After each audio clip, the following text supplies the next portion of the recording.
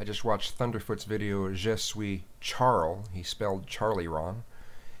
And uh, it was kind of what I would expect from Thunderf00t.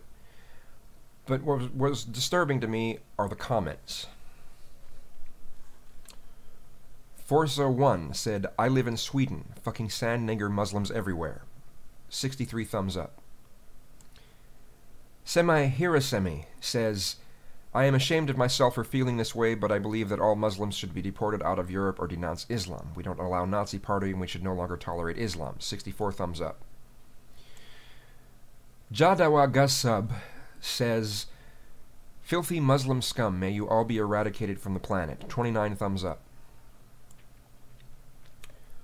Alman 556 says, A radical Muslim wants to behead you. A moderate Muslim wants a radical Muslim to behead you. Akaubi says, I hate living in Toronto because it's full of Muslims. I can't stand them. The old women always stealing. Pathetic fucking rats need to be killed. Minecraft Atheist says, The only ways to solve it are a lot of nukes, changing the Quran itself, more false divine leaders to tell Muslims uh, Muhammad was wrong, or space exploration and leave this planet. The part that bothers me is the a lot of nukes comment. Hugh Hugh says, I live in the UK. Fucking sand nigger Muslims everywhere. Can't wait to vote far right next general elections. New Form of Silence says, Moderate Muslim is a contradiction in terms.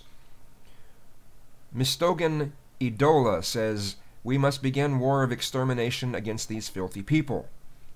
Jose Fierro says Islam should really be banned. We have banned other ideologies like Nazism. Why not this? Now,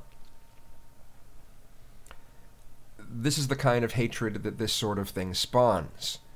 And is this really what we want to push forth?